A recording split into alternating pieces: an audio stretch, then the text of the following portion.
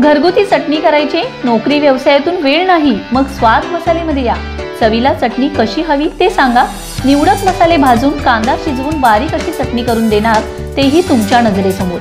वा आत्ता तुमच्या जेवणाला चव येणार प्रत्येक गृहिणी अभिमानाने स्वाद मसालेचंच नाव घेणार. आमचा पत्ता स्वाद मसाले गेस्ट हाऊस शेजारी पलू साळशिंगे रोड महात्मा विद्यालय शेजारी विटा संपर्क नव्याण्णव सहाशे पंचवीस दोनशे पंधरा. अठ्ठ्याऐंशी पाचशे अठ्ठावन्न शून्य एक्क्याऐंशी बासष्ट. नमस्कार मी अरुण आणि आपण पाहत आहात सेवन स्टार न्यूज.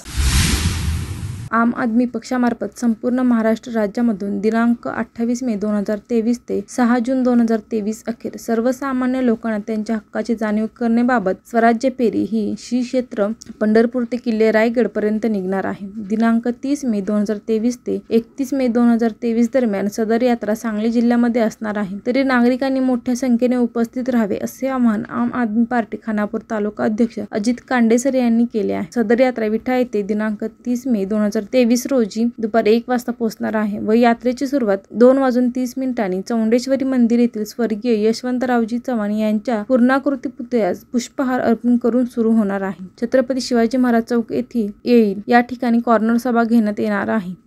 सदर यात्रेसाठी श्री वसीम मुल्ला व श्रीराम पाटील यांच्या मार्गदर्शनाखाली डॉक्टर यशवंत सावंत सामाजिक कार्यकर्ते भिंगार देवे यांच्यासह सर्व पदाधिकारी व कार्यकर्त्यांनी यात्रेची पूर्वतयारी केली असल्याचे कांडेसर यांनी सांगितले आहे. नमस्कार मी अजित धनाजी कांडे सर आम आदमी पार्टी खानापूर तालुका अध्यक्ष. आम आदमी पार्टी आयोजित दिनांक अठ्ठावीस मे दोन हजार तेवीसपासून दिनांक सहा जून दोन हजार तेवीस पर्यंत स्वराज्य यात्रेचे नियोजन करण्यात आलेले आहे. तरी आपल्या विटा येथे दिनांक तीस मे रोजी दुपारी ठीक अडीच वाजता या यात्रेचे आगमन होणार आहे.